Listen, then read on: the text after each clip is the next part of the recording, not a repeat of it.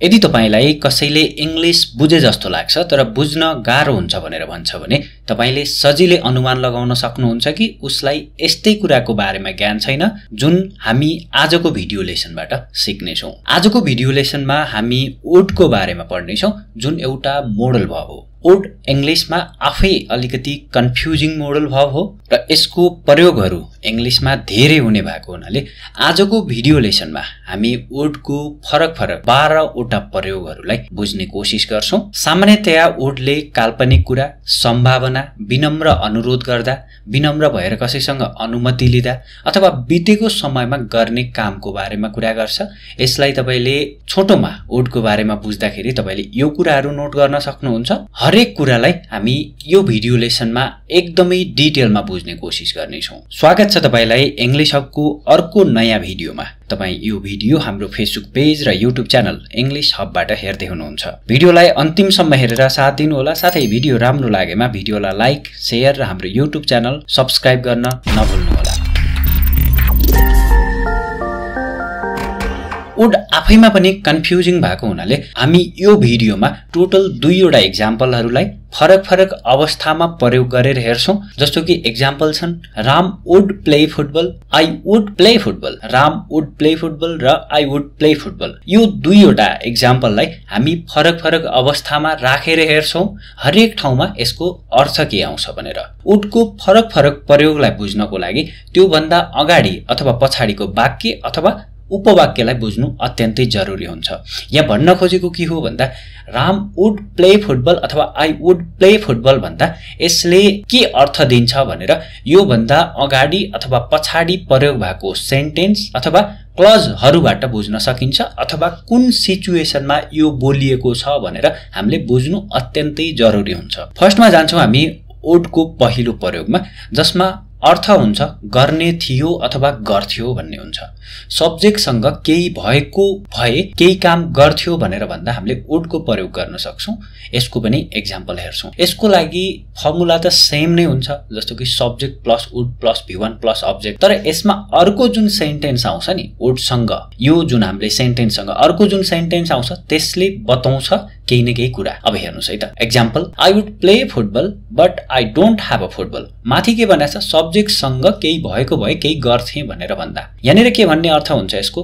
गर्ने थियो अथवा गर्थ्यो। अब यहाँनिर आईसँग त गर्ने थिएँ अथवा गर्थेँ भन्ने हुन्छ। यसको अर्थ नेपालीमा म फुटबल खेल्ने थिएँ तर मसँग फुटबल छैन। यदि म मसँग फुटबल भएको भए म फुटबल खेल्ने थिएँ। हेर्नुहोस् है त। यसमा वुड हामीले जुन अगाडिको इक्जाम्पल बनाएको थियौँ आई वुड प्ले फुटबल नै हो। तर यसको अर्थ पछाडिपट्टिको सिचुएसनले यसलाई यो मिनिङ दिन्छ यसले भनेर पछाडिको सिचुएसनले हामीलाई बताइदिन्छ।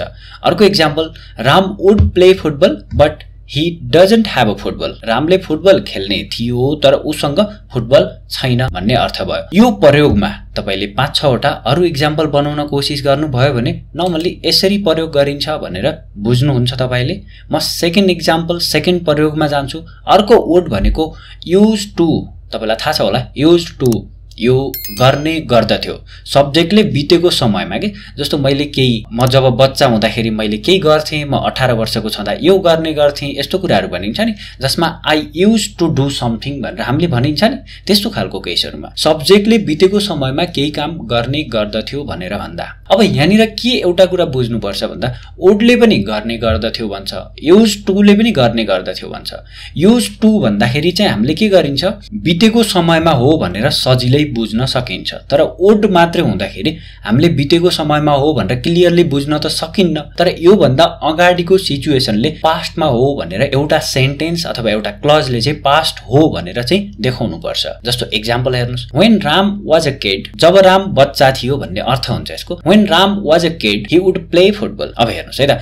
जब राम बच्चा थियो ऊ फुटबल खेल्ने गर्दथ्यो। अब यो हि वुड प्ले फुटबलको ठाउँमा हामीले he use to play football भनेर नि भन्न सकिन्छ। कुनै समस्या हुँदैन। He use to play football भन्दाखेरि। तर यहाँनिर के छ भन्दा युज टु भन्दा अगाडिको सेन्टेन्स राख्नु पर्दैन राख्दा पनि हुन्छ। तर वुड प्रयोग गर्दा हि वुड प्ले फुटबल भन्दा हामीले अगाडिको सेन्टेन्स राख्नै पर्छ। यही सेन्टेन्स नै राख्नुपर्छ भन्ने छैन। तर अगाडिको सेन्टेन्सले यो कुरा बितेको समयमा हो भनेर देखाउनै पर्छ। जब राम बच्चा थियो ऊ फुटबल खेल्ने गर्दथ्यो। अर्को example when I was eleven I would play football जब म एघार वर्षको थिएँ अर्थ त्यही हुन्छ आई वुड प्ले फुटबल हेर्नुहोस् है त यसमा वेन आई वाज इलेभेन भनेर राखिएन भने यसले के गर्छ? यो वुडको प्रयोगलाई अन्यलता दिन्छ। भन्नाले यो कुरा पास्टको हो भन्ने हुन्न। हामी अर्को कुनै मिनिङतिर जान सक्छौँ। सो यो कुराले पास्ट हो भनेर बताउँछ। यहाँनिर वुडको प्रयोग युज टुको ठाउँमा भएको छ। यसलाई तपाईँले इक्जाम्पल्सहरू अलि धेरै बनाउन कोसिस गर्नुभयो भने सिम्पल छ जति लाग्छ तपाईँलाई अप्ठ्यारो वुड त्यति अप्ठ्यारो चाहिँ छैन। अब तेस्रो प्रयोगमा जान्छौँ हामी। तेस्रो प्रयोग हुन्छ पास्ट अफ विल विलको पास्टमा भनेको हेर्नुहोस् है त। इन्डाइरेक्ट स्पिच भनेर यदि तपाईँले पढ्नु भएको छ भने यसको कन्सेप्ट बुझ्नुहुन्छ। कुनै बितेको समयमा भविष्यको बारेमा कुराकानी गर्दा विलको ठाउँमा वुडको प्रयोग गरिन्छ। बितेको समयमा भविष्यको बारेमा कुराकानी गर्दा। जस्तो कि तपाईँले म फुटबल खेल्नेछु त भन्नुभयो तर हिजोको दिनमा भन्नुभयो। अब यहाँनिर के गर्नुपर्छ? त्यो हिजोको दिनमा भन्नुभयो भनेर पनि क्लियर हामीले भन्नुपर्छ। हिजोको दिनमा तपाईँले यो भन्नुभयो कि म फुटबल खेल्नेछु यस्तो खालको हुने भयो। यसको पनि त्यही नै हुन्छ। Subject plus would plus V one plus object अथवा योभन्दा अगाडि अथवा पछाडि एउटा कुनै सेन्टेन्स हुन्छ। सेन्टेन्स अथवा क्लज हुन्छ जसले यो कुरा पास्टमा हो पास्टमा गरिएको हो भनेर बुझिन्छ। आई विल प्ले फुटबल म फुटबल खेल्नेछु सम्झिनुहोस् यो कुरा कसैले भन्यो। रामले भन्यो कि म फुटबल खेल्नेछु भनेर। हामीले के भन्नु पर्यो? यो रामले रामले भन्यो फुटबल खेल्नेछु भनेर। हामीले यही भन्नु पर्यो। अब जस्तो कि हामीले चाहिँ के भन्छौँ?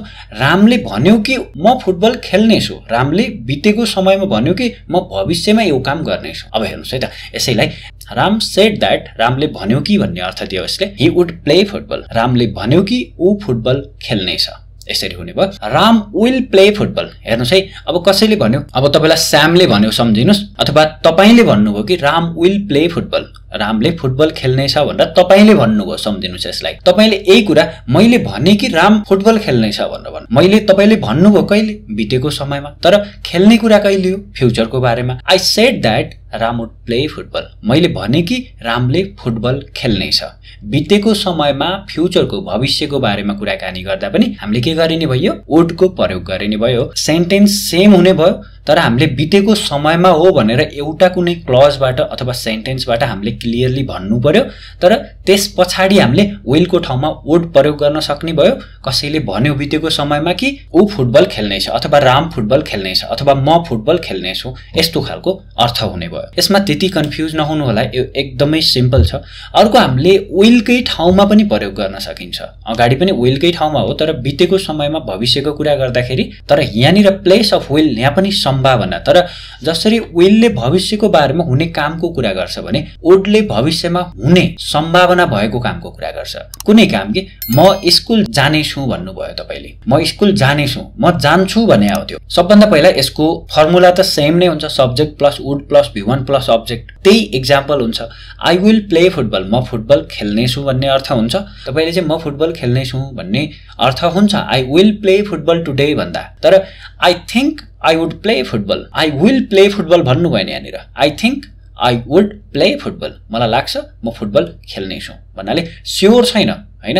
I think I will play football भनिँदैन। अब यहाँनिर सम्भावनाको कुरा गरिरहेछ फ्युचरमा हुन सक्ने। आई थिङ्क मलाई लाग्छ म फुटबल खेल्नेछु। आई वुड प्ले फुटबल मलाई लाग्छ म फुटबल खेल्नेछु। त्यसै गरेर राम विल प्ले फुटबल भन्दा रामले फुटबल खेल्ने छ भन्ने नै हुन्थ्यो। अब यसैलाई भविष्यमा सम्भावना खेल्न सक्ने छ अथवा खेल्ने सक्ने छ भन्ने चाहिँ प्रयोग गरिँदैन। तर यहाँनिर राम विल प्ले फुटबललाई सम्भावना फ्युचरमा खेल्न सक्ला अथवा मलाई लाग्छ ऊ खेल्ला भन्ने जस्तो भन्नु। It seems to me that Ram would play football म यो ठान्दछु कि रामले फुटबल खेल्नेछ। यहाँनिर it seems to me that यसको अर्थ के हुन्छ? मलाई यस्तो लाग्छ अथवा यसले यस्तो देखाउँछ भन्ने अर्थ हुन्छ तर यहाँनिर मैले चाहिँ म यो ठान्दछु कि रामले फुटबल खेल्नेछ भनेर लेखिदिएको छु। तपाईँ कन्फ्युज नहुनु होला हामी अर्कोमा जान्छौँ कन्डिसनल सेन्टेन्समा अब यसमा इफको प्रयोग हुन्छ जसरी योभन्दा अगाडि पनि हामीले कोडको प्रयोग गर्दा हेरेका छौँ कन्डिसनल सेन्टेन्स भने सब्जेक्टले म आफै केही भयो भने वा मसँग केही भयो भने मैले केही गर्ने थिएँ भनेर कल्पना गर्छ नि।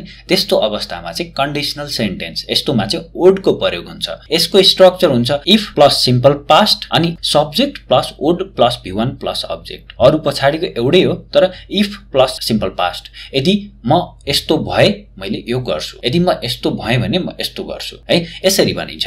इक्जाम्पल हेरौँ। If I were healthy I would play football यदि म स्वस्थ भए म फुटबल खेल्ने थिएँ. यदि म स्वस्थ भए म फुटबल खेल्ने थिएँ. अर्को if Ram had free time he would play football यदि रामसँग खाली समय भयो भने ऊ फुटबल खेल्ने थियो. यसरी पनि प्रयोग गर्न सकिन्छ. प्रयोगहरू यही नै हुन् जति मैले यहाँ देखाउँछु. योभन्दा अरू चाहिँ हुँदैनन्. त तपाईँले यिनीहरूमा चाहिँ प्र्याक्टिस गर्नुपर्छ ताकि के अर्थ लागेको छ भन्ने बुझ्नु तपाईँलाई सजिलो होस्. अर्को छैटौँ नम्बरमा छ वुड लाइक टु हेर्नुहोस् है त वुडको प्रयोग सकिसक्यो तर कहिलेकाहीँ I would like to he would like to यसरी भनिन्छ नि। यस्तो खालको इक्जाम्पलहरूको लागि पनि तपाईँ तयार हुनुपर्छ यसलाई पनि बुझ्न। वुड लाइक टु भनेर सँगसँगै आउँदा गर्न चाहन्छु भन्ने मिनिङ आउँछ तर यसको ठाउँमा हामीले वान टू पनि लेख्न सकिन्छ। Want to I want to अथवा आई वुड लाइक टू भन्दाखेरि अर्थ सेम सेम हुन्छ। तर आई वुड लाइक टु भन्दाखेरि अलिकति नम्र भएर कुरा गरे जस्तो हुन्छ। सब्जेक्टले केही कुरा अथवा काम गर्न चाहन्छु भनेर भन्दा होइन? म गर्न चाहन्छु यो काम भन्दाखेरि। Subject plus would like to plus V one plus object हुन्छ फर्मुला होइन? योभन्दा अर्को कुनै तरिकाबाट प्रयोग गर्न थाल्नु भने बिग्रिन्छ। I would like to play football with Ram म रामसँग फुटबल खेल्न चाहन्छु। He would like to play football with you ऊ तिमीसँग फुटबल खेल्न चाहन्छ। यसै गरेर यसको इक्जाम्पलहरू हुने भयो। दुई चारवटा इक्जाम्पल अरू बनाउन कोसिस गर्नुभयो भने यो कुरा सिम्पल छ। अब अर्को कुरा जति पनि हामीले प्रयोग गरिसकेका छौँ वुडको यो जुन थियो अगाडिको यो हाम्रो एउटा स्टेटमेन्ट हुन्थ्यो। धेरैलाई हामीले क्वेसन बनाउन पनि सक्थ्यौँ तर अब जति पनि प्रयोगहरू हुन्छन् तिनीहरू सबै क्वेसनमा हुन्छन्। यदि तपाईँ घरमै बसेर इङ्ग्लिस सिक्न चाहनुहुन्छ भने मोबाइलमा इङ्ग्लिस हब डाउनलोड गर्नुहोस्। अङ्ग्रेजी सिक्ने झन्झटबाट सधैँका लागि मुक्त हुनुहोस्। डिस्क्रिप्सनमा एउटा भिडियो लिङ्क दिइएको छ जसबाट सम्पूर्ण जानकारी प्राप्त गर्न सक्नुहुनेछ। अब to request something to someone कसैलाई केही कुरा नम्र भएर अनुरोध गर्दा अथवा सोद्धा पनि हामीले उडकै प्रयोग गरिन्छ तर सोध्ने भन्ने कुरा छ नि। कसैलाई अनुरोध गर्ने अथवा सोध्ने कुरा छ नि त्यहाँनिर। सोद्धाखेरि चाहिँ हामीले के गर्न सकिन्छ? यो क्वेसनमा हुन्छ भनेर बुझ्नु पर्यो। कसैलाई केही कुरा सोध्नु पर्ने छ त्यो त क्वेसनमा हुने भयो। Would you plus V one plus object हेर्नुहोस् है त। हाम्रो जसरी अगाडिदेखि हामीले प्ले फुटबलकै कन्सेप्टलाई लिइरहेका छौँ। Would you play football with me तपाईँ मसँग फुटबल खेल्नु हुन्थ्यो कि अथवा हुन्छ कि? भनिन्छ नि होइन? फुटबल खेल्नुहुन्छ कि भन्ने नै हुन्छ ओटको अर्थ। तर अलि नम्र भएर कसैलाई भन्दाखेरि हामीले के भनिन्छ यस्तो गर्नुहुन्थ्यो कि यस्तो खानुहुन्थ्यो कि अथवा यस्तो काम गरिदिनुहुन्थ्यो कि चिया लिनुहुन्थ्यो कि? यस्तो भनेर सोधिन्छ नि। अलि नम्र भएर अघिल्लो मान्छेलाई भन्दाखेरि यो हुन्थ्यो कि अथवा हुन्छ कि? दुइटै जे भन्दा पनि हुन्छ। अब हामीले हुन्थ्यो कि यस्तो गर्नुहुन्थ्यो कि भनेर हामीले यसरी भनिन्छ। Would you play football with me यो नर्मल्ली कुनै साथीभाइलाई बोल्यो भन्दा नि अलिकति तपाईँले सम्मान गर्ने मान्छेलाई मसँग फुटबल खेलिदिनुहुन्छ भने जस्तो हो कि? यसरी बुझ्नु पऱ्यो would you teach me English तपाईँ मलाई अङ्ग्रेजी सिकाउनुहुन्थ्यो कि? अथवा हुन्छ कि? भनेर भनियो तर यो अलि सभ्य भएर। हरेकमा फर्मुलाहरू एड गरेर यो अनुसार सेन्टेन्स बनाउन चाहिँ कोसिस गर्नु होला नभयो भने तपाईँलाई यो कुरा यत्तिकै जान्छ। हामीले कम्तीमा पनि बाह्रवटा प्रयोगहरू यही लेसनमा पढ्छौँ। उडसँग रिलेटेड अरू कुराहरू पनि छन्। त्यसले तपाईँलाई पछाडि कन्फ्युज बनाउँछ नत्र। आठौँ नम्बरमा छ पर्मिसन अनुमति लिनको लागि। कसैसँग केही कुरा नम्र भएर अनुमति माग्दाखेरि हामीले ओटको प्रयोग गरिन्छ। ख्याल गर्नु होला अनुमति माग्ने कुरा छ नि यस्तो गर्न सक्छु भनेर। यस्तो भनिन्छ नि होइन यस्तो कुराहरू अनुमति लिने कुराहरू हुन्छ। यो चाहिँ क्वेसन फर्ममा नै हुन्छ। अब यहाँनिर would plus subject plus mind plus if plus simple present हुन्छ। यो कस्तो हुन्छ भन्दा would you mind if I do something अथवा यस्तो खालको इक्जाम्पलहरू हुन्छ नि। यो अर्थ हुन्छ इक्जाम्पलबाट हेर्छौँ। Would you mind if I play football here के तपाईँलाई अप्ठ्यारो लाग्छ यदि मैले फुटबल खेलेँ भने? होइन यस्तो खालको कुराहरू कहिले काहीँ सोधिन्छ नि? के तपाईँलाई अप्ठ्यारो लाग्छ? म फुटबल खेलेँ भने तपाईँले अप्ठ्यारो मान्नुहुन्छ कि? भनेर यसरी सोधिदिया जस्तो भयो कि? म फुटबल खेल्दा तपाईँलाई अप्ठ्यारो लाग्छ कि? भन्ने केस हुन्छ नि? यस्तो। Would Ram mind if we play football here के रामलाई अप्ठ्यारो लाग्छ यदि हामीले यहाँ फुटबल खेल्यो भने? भनेर यसरी भन्न सकिन्छ। यो प्रयोगमा अनुमति लिँदाखेरि अनुमति नै हो यो पनि ख्याल गर्नु होला अर्को हुन्छ। Would you mind plus gerund plus अब अब्जेक्ट जेरन भनेको यहाँनिर तपाईँ कन्फ्युज नहुनु होला। जेरन र पछाडि अब्जेक्ट भनेर लेखिदिएको छु। यो त्यति धेरै जेरन आउँदा बित्तिकै आफै अब्जेक्ट हुन्छ हुन त। तर यो पछाडिको अब्जेक्टको जरुरत नपर्न पनि सक्छ। तर खासै जेरनसँग मात्रै त्यति मिल्दो इक्जाम्पलहरू हुँदैन। जेरन भनेको के हो त? भनेको कुनै पनि भवको भिफोवाला जुन भिफो हामीले भवफोलाई पढ्छौँ नि आइएनजीवाला फर्म त्यसलाई हामीले सब्जेक्ट अथवा अब्जेक्टको रूपमा प्रयोग गरिन्छ। यसको इक्जाम्पलबाट बुझ्नुहुन्छ हेरौँ। Would you mind playing football with me के तपाईँ अप्ठ्यारो मान्नुहुन्छ? मसँग फुटबल खेल्न? के तपाईँ अप्ठ्यारो मान्नुहुन्छ कि मसँग फुटबल खेल्न? अथवा यस्तो कुराहरू। Would he mind playing football with us कि उहाँ अप्ठ्यारो मान्नुहुन्छ? हामीसँग फुटबल खेल्न? यसरी यस्तो केसमा यो प्रयोग गरिने भयो। वुड यु माइन्ड प्लस यो जेरन भनेको ING doing something would you mind doing something would you mind eating something के तपाईँ अप्ठ्यारो मान्नुहुन्छ चिया लिन पिज्जा खान भनेर यसरी भन्न सकिन्छ। त्यसै गरेर म अर्कोमा जान्छु दसौँ प्रयोगमा वुड इट बी ओके भन्ने पनि हुन्छ यसको अर्थ के हुन्छ के यो ठिक होला भन्ने अर्थ हुन्छ कसैले के यो काम गर्दा ठिक होला त भनेर सोध्छ। यस्तो केसमा तपाईँले नै सोध्दै हुनुहुन्छ सम्झिनुहोस्। यसको चाहिँ के हुन्छ would it be okay plus if plus simple present हुन्छ। Would it be okay if I do something यसरी भन्न सकियो। Would it be okay if I play football here कि यो ठिक होला त मैले यदि यहाँ फुटबल खेलेँ भने? यसको अर्थ हुन्छ नेपालीमा। अथवा यसैलाई मिलाएर भन्दा नेपालीमै भन्दा would it be okay if I play football हेयरलाई हामीले नेपालीमा मैले यहाँ फुटबल खेलेँ भने ठिक होला त भनेर भनिन्छ नि यो माथिपट्टिको ट्रान्सलेसन भयो तलपट्टिको चाहिँ हामीले नेपालीमा बोल्दा यसरी भनिन्छ would it be okay if we play football with them कि यो ठिक होला त यदि हामीले उनीहरूसँग फुटबल खेल्यौँ भने यसैलाई अलिक सभ्य तरिकाले हामीले नेपालीमा बोल्दा चाहिँ हामी हामी उनीहरूसँग फुटबल खेल्दा ठिक होला त भनेर भनिन्छ। तर ट्रान्सलेसन गर्दाखेरि वुड बी ओके यदि कि यो ठिक होला त भनेर हामीले यसरी भन्न सकिन्छ। तपाईँलाई जुन सजिलो लाग्छ नेपालीमा तपाईँले आफ्नो तरिकाले भन्न सक्नुहुने भयो। इङ्ग्लिसमा यो खालको प्रयोग हुन्छ भनेर तपाईँले बुझ्नु अत्यन्तै जरुरी हुन्छ। र हाम्रो एघारौँ नम्बरमा छ would you like before infinitive would you like to dance would you like to play would you like to infinitive भनेको त्यही हो। टु प्लस भ्यू वान हो। To plus V one. ख्याल गर्नु होला।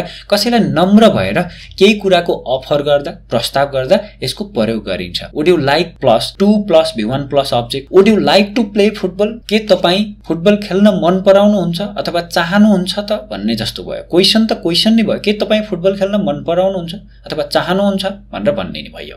अलि नम्र भएर भन्दाखेरि मात्रै वुडको प्रयोग गरिन्छ। नत्र भने हामी अरू पनि प्रयोग गर्न सकिन्छ यसमा। वुड भन्ने प्रयोग गर्दा बित्तिकै कि त भने यो अलिक अलिकति सम्भावना नभएको कुराहरू पोसिबिलिटी कम भएको कुरा भनेर बुझ्नुपर्छ कि त भने अघिल्लो मान्छेले अत्यन्तै नम्र भएर तपाईँसँग कुरा गर्दैछ भन्ने बुझ्नु पर्यो would you like to dance with me के तपाईँ मसँग नाच्न मन पराउनुहुन्छ अथवा चाहनुहुन्छ त भनेर भनिन्छ? यसको पनि केही इक्जाम्पलहरू यसै गरेर बनाउन कोसिस गर्नुभयो भने यो त बानी परिहाल्छ तपाईँलाई। खासै यो प्रब्लम पनि नहोला। अब अर्को एउटा कन्सेप्ट हुन्छ यो अलिक कन्फ्युजिङ बनाउँछ तपाईँलाई। यो बाह्रौँ नम्बरमा के सब्जेक्टले चाहन्छ अर्को व्यक्तिले केही गरोस् भनेर। के रामले चाहन्छ तपाईँले इङ्ग्लिस पढ्नुहोस् भनेर अथवा के श्यामले चाहन्छ तपाईँले अरू केही काम गर्नुहोस् भनेर यस्तो कुराहरू भनिन्छ नि कहिलेकाहीँ। भन्नाले यसमा चाहिँ के हुने भन्दा यो त क्वेसन त क्वेसनै हुने भयो। वुड प्लस एउटा सब्जेक्ट हुने भयो। Subject plus like plus object भन्न पनि सक्यो सब्जेक्ट टू भन्न पनि सक्यो पछिल्लोलाई। Plus to plus V one भगवान भनेको यहाँनिर त भगवान त लास्टमा हुन्छ अनि बल्ल अब्जेक्ट लेखिने भए पनि त्यस पछाडि लेखिन्छ। हेर्नुहोस् है त example would he like me to play football के ऊ चाहन्छ म फुटबल खेलौँ भन्ने? होइन? के उसको चाहना हो म फुटबल खेल्दै हुन्थ्यो भन्ने? उसको चाहना हो भन्ने जस्तो हुन्छ नि। के ऊ चाहन्छ म फुटबल खेलौँ भन्ने? यस्तो पनि हुन्छ कि would he like me to dance अथवा would you like him to play football यसरी भन्न सक्यो। Would you like him to play football के तिमी चाहन्छौ ऊ फुटबल खेलोस् भनेर? यसरी यसको प्रयोग हुन्छ। नर्मली हामीले आजको लेसनमा प्रयोग गर्नुपर्ने सम्पूर्ण वुडको बाह्रवटा प्रयोगहरू बुझिसकेका छौँ। वुड आफैमा पनि कन्फ्युजिङ छ। तपाईँले प्र्याक्टिस गर्नु भएन भने त कामै छैन। एउटै इक्जाम्पललाई एकदमै सिम्पल बनाएर तपाईँलाई दिनको लागि कोसिस गरिरहेछ। फरक फरक कन्डिसन फरक फरक भवहरू राखेर प्र्याक्टिस गर्न सक्नुहुन्छ र यो भिडियो अलिकति लामो हुने भएको हुनाले वुड बी वुड ह्याभ र अरू मिनिङहरू वुडको त्यसको लागि यो भिडियोको अर्को पार्ट चाँडै नै यो च्यानलबाट अपलोड हुन्छ।